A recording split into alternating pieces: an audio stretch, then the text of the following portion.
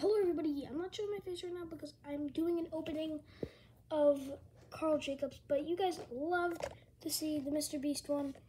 And we're gonna open up Karl Jacobs, but I already did.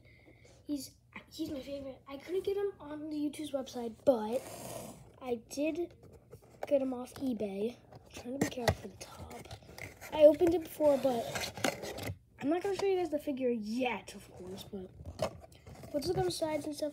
The sides say like him himself, and the thing says for him Karl Jacobs on the back. Then we have over here we have a bonk. In The front we have Karl Jacobs, which is his name. And yeah, he's a 228th one. And let's look at the flat.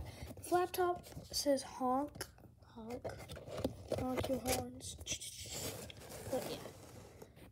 This. And here's Karl Jacobs. Now he is surprisingly taller than Mr. Beast. He's obviously taller than him. Get him shot. He's taller than him. Yeah, he's way taller. Because he's probably in, because he's in the chair fast way. But just look at the detail and he's just really cool. I just I'm so happy I got him. It was not too much. I'm not gonna say I'm not it was like 50 or 60, I forgot. I think 60 though. I think 50, but I do like him. But he does have his um um hoodie on. He does have a sign that says honk, and he has Vans. I think those are Vans, right? Oh, whoops. Jimmy, don't fall. No, don't Jimmy, stop. Okay, we're supposed to Yeah, they're both wearing like March that they own, but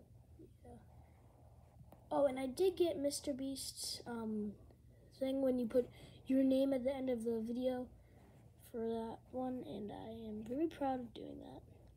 It was worth the money. That shirt's gonna be so cool. Obviously, gonna show it off. Gonna have to. But yeah, I do like Karl, and I hope you guys too. Like, subscribe, hit the bell button, and share. Bye, guys.